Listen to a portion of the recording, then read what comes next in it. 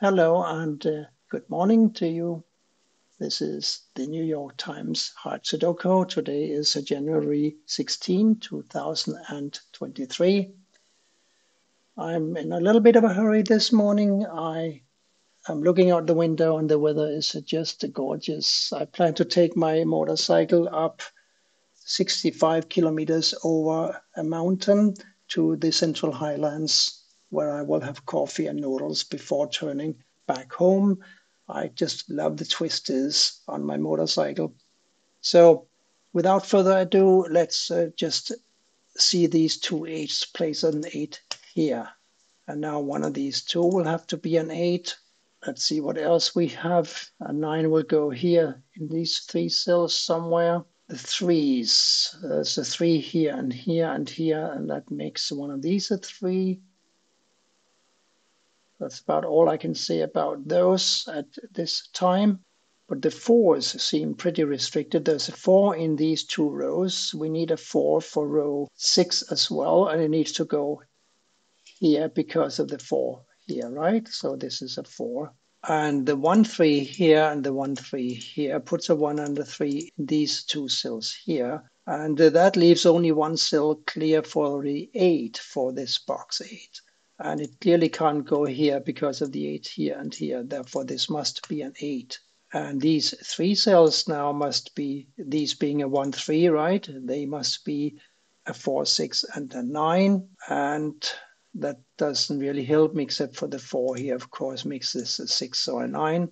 A 1, 2, 3, 7, and a 9 to complete column 3.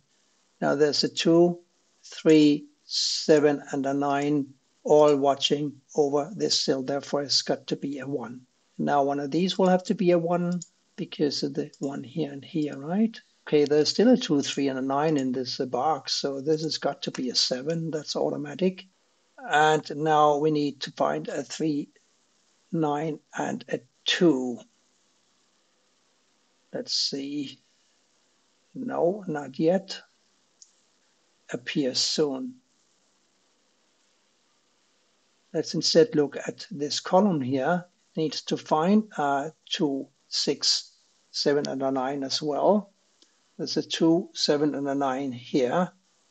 That means that this must be a 6. And now we need a 2, 7, and a 9 for these three cells. And there's a 2, 7 here. So this is a 9. And it was a 9, 6, remember, from memory. This is now a 2, 7, and this is a 2, 7. These are now 4 and 6. We've got a 6 here and here, putting a 6, of course, in this cell. Now these two must be, oh, this must be an 8 because there's an 8 up here. So I don't even have to think about that.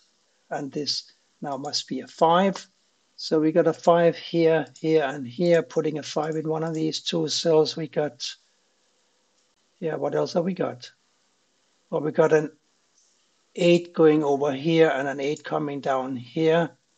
So one of these will have to be an 8. And because of the 8 looking at this cell and the 8 looking at this cell, we know that one of these two will have to be an 8. So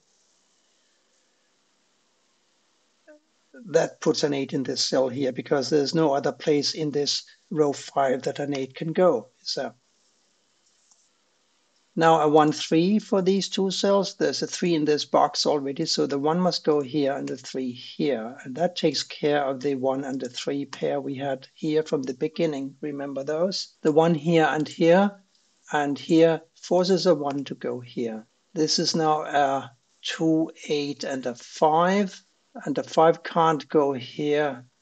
8 can't go. So yes, an 8 must go up here, of course, because we have this 8 blocking these two cells. So this is an 8 and this is now a 2 and a 5, making these two a 9 and a 7. Yes. And the 9 here prevents a 9 from going here. Therefore, it must be a 7 and this must be a 9. And we only need one more digit up here and that is going to be a 2, which by the way blocks these three cells and the 2 here blocks this cell. So this is a 2.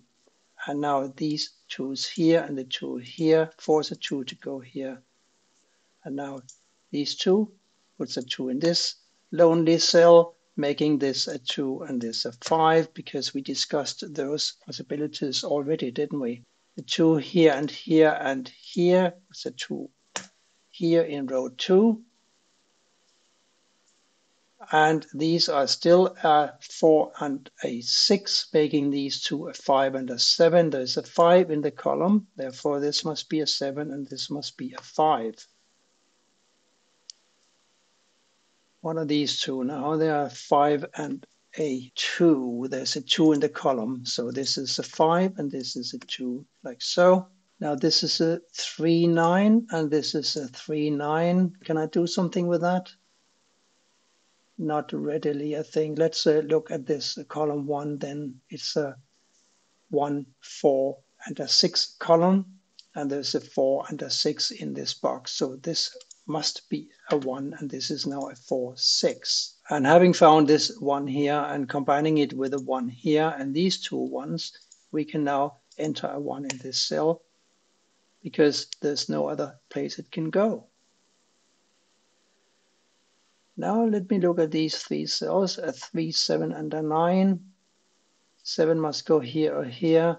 This is a 3, 9 as we just established and a 3 will have to go up here in some place because of the 3 here. So it goes to 3 here and this 3. Can we do something over? Yes, we can. There's a 3 here. So this is a 3. Only three cells missing here, uh, 7, 5 and a 9 for these cells here. There's a 7 and a 9 here. So this must be the 5. And what about up here? Yes, I thought we had a 5 here. So these two fives now force a five to go here. And these two fives here, and this third five puts a five right here. For the column, we now need to have a four and a nine. And I don't know where to place them right this moment, but there's so many digits now that it shouldn't take long. So a 7, 9 here and a 7, 9 here, of course. Let me have a look at the, this row here. 1, 2, a 4, 6, 7, and a 9. Still missing. There's a 4, 6 here. So this is a 7, 9. Hmm, there's a 6, 7 here. So this is a 4, 9. There's a 4 here. So a 4 will have to go either here or here. So instead of looking at this corner, let me look at this corner here. Let me look at uh, column 2, for which we still need to find a 1379. Look at this, 137. Therefore, this must be a 9. And that makes this a 9. And now these two have to be a 7 and a 3. There's a 3 in the row, so this must be the 7, this, therefore the 3. And the last digit down here now has got to be a 1. Yes, that's it. And now this last digit must be a 3. These two guys have got to be a 4 and a 6. Let's see. They'll just have to wait a second, I think. What can we do in the top row now? Uh, 4, 7, and a 6. That's funny. Can't do anything except for the 7 here. This is a 4, 6, and this is a 4, 6, and this is a 4, 6.